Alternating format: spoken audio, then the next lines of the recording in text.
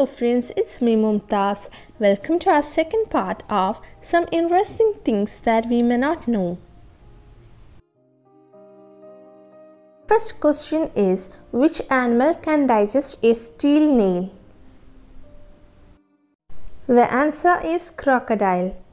Crocodiles have highly acidic and strong digestive juices that can dissolve steel nail and other hard materials quite easily. Which animal gives both milk and egg? The answer is platypus, which is found in Australia.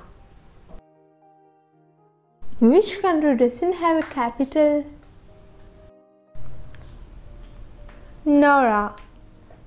It is a tiny island in the Pacific region without capital. The fourth question is which country have two capitals? The answer is Bolivia. We are reading newspaper daily, right? So, what is the meaning of four dots in newspapers? Can you guess the answer? Those colors are C, Y, M, K cyan, magenta, yellow and black. The base colors of all colors are used in printing. Basically, any colors can be obtained by using these in correct proportions and combinations. If the images are somehow blurry, you will find these colors are overlapping or not in the same line. We all are having red blood, isn't it? So, which animal have blue blood? The answer is octopus.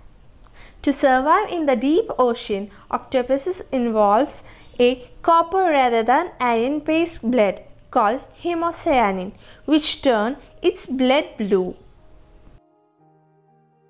The next question is, why are the holes at the bottom of gas cylinders?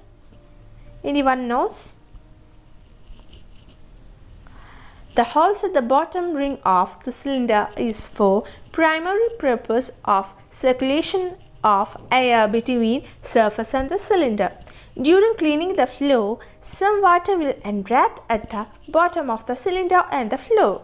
This will cause corrosion at the bottom of the cylinder and weakens. The weakened cylinder body will cause leakage of gas or explosion.